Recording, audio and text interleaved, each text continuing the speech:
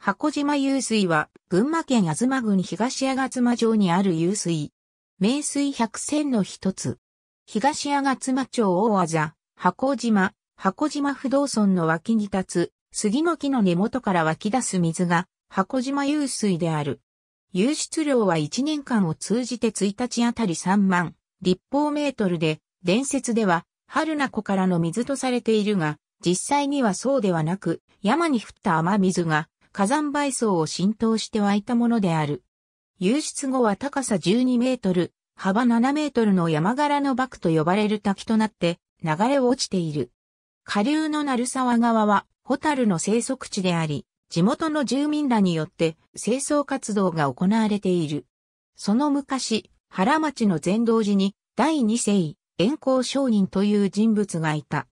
そこへ、恩敵に追われた木べくない醤油の北の方が突然訪れ、よもやま話をしていた。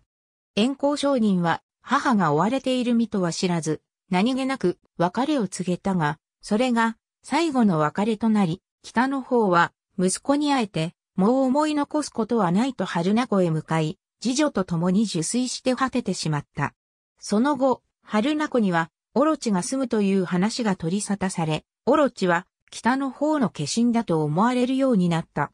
そこで、供養のために、北の方の位牌を春名湖へ沈めたところ、その位牌がここ、箱島の湧水から出てきたという。この位牌は、今もなお、箱島不動堂に収められている。水道水、農業用水、養魚場の水源として利用されている。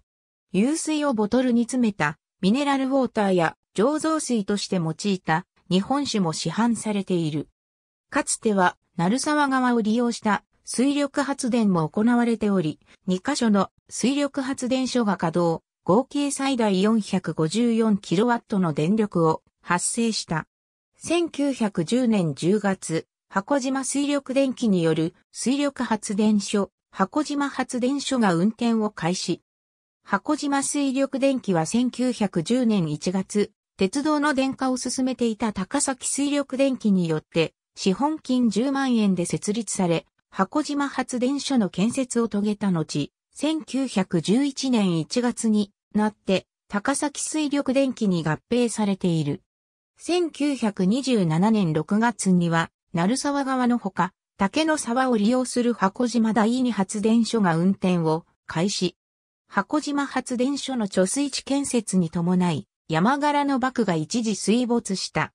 発電所は、箱島水力電機から高崎水力電機、東京電灯、関東配電を経て、東京電力に継承されたが、1956年4月になって老朽化を理由にすべて廃止された。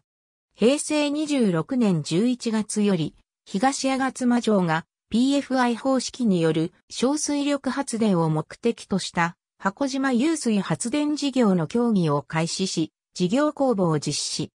旧箱島発電所時代に建設されたダムに新たに取水口を増設し、取水、下流域に発電所を建設することとなり、再び箱島湧水を利用する発電が再開されることとなった。